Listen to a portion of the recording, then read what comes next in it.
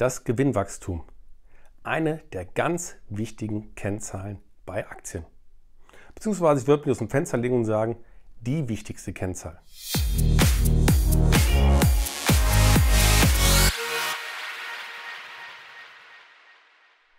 Herzlich willkommen zu diesem Video. Mein Name ist Marc Pötter und ich bin seit über zehn Jahren professioneller Trader und Investor. Warum habe ich gerade gesagt, ist das Gewinnwachstum meines Erachtens die wichtigste Kennzahl, die wir haben. Einfach deswegen, weil der Unternehmenswert ist ja ein sogenannter Ertragswert. Das heißt also, ich gebe Geld für ein Unternehmen aus, was der aktuellen Marktkapitalisierung spricht, also dem Wert einer Aktie. Deswegen, weil ich die Ertragskraft kaufe. Und der Ertrag heißt ja, wie stark ist das Unternehmen in der Lage, zukünftig Gewinn zu erwirtschaften. Kannst du dir so vorstellen, wenn du die Wahl hast zwischen zwei Apfelbäumen und der eine Apfelbaum gibt dir im Jahr fünf Äpfel und der andere 50 Äpfel, dann weißt du, welchen Apfelbaum du kaufen wirst.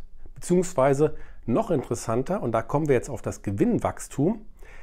Es kann ja sein, dass sogar beide Bäume dieses Jahr fünf Äpfel haben, aber wenn dir ein Fachmann sagt, dass der Baum rechts innerhalb der nächsten fünf Jahre auf ein Wachstum kommt, dass er hinterher 50 Äpfel hat und der andere Baum hat weiterhin nur fünf Äpfel, dann bist du bereit, für den Baum, der 50 Äpfel in fünf bis zehn Jahren haben wird, deutlich mehr Geld auszugeben. Und genau das ist das Wichtige, wonach wir Analysten Aktien beurteilen. Das heißt also, deswegen gibt es diese Schätzung, diese Analystenmeinung, was wird ein Unternehmen in den nächsten Jahren verdienen, wie wird es sich entwickeln. Und da kann ich dir sagen, hör gar nicht zu sehr auf Analysten, da ist es immer gut, dass man selber auch eine gewisse Meinung zu einem Unternehmen hat. Also wenn du zum Beispiel ein Produkt gut findest, wie ein Handy, dann gibt es ja diverse Handyhersteller, wo man sagen kann, okay, von dem kann ich zum Beispiel Aktien kaufen, das Produkt ist gut, man sieht, andere kaufen es auch. Das heißt natürlich, mit mehr Verkäufen von diesem Produkt wird auch der Unternehmenswert steigen. Ja, also das ist etwas, was gar nicht so einfach ist, dass man es abschätzen kann. Es ist aber enorm wichtig.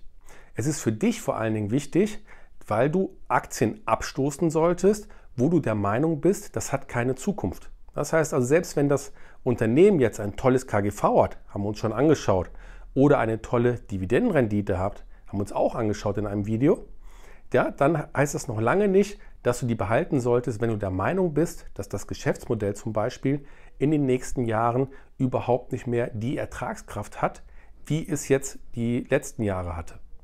Ja, also von daher die Kennzahlen, die wir uns angeschaut haben, sind alle wichtig, sind aber vor allen Dingen im Kontext zu betrachten, wie sieht das mit dem Unternehmen in fünf Jahren, in zehn Jahren aus.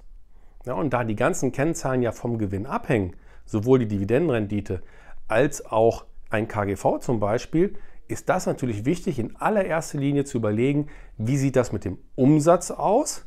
Das heißt also, wie viel Einnahmen hat das Unternehmen? Und dann natürlich auch, Umsatz abzüglich der Kosten, wie viel unterm Strich bleibt an Gewinn hängen? Und der sollte natürlich bei einem gesunden Unternehmen nach und nach, natürlich umso höher, umso besser, aber nach und nach wachsen.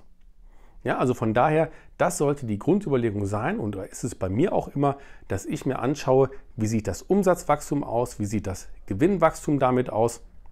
Und wie wird das in fünf bis zehn Jahren sein. Ja, wie gesagt, nicht wichtig, dass du das genau ausrechnen kannst, sondern die Einschätzung muss stimmen. Ja, also für dich, äh, du als Einzelaktieninvestor, du solltest damit gut schlafen können, wenn du Aktien von einem Unternehmen hast, weil du der Überzeugung bist, dass dieses Unternehmen auch in fünf Jahren, auch in zehn Jahren noch tolle Produkte baut, beziehungsweise einen tollen Mehrwert für seine Kunden macht.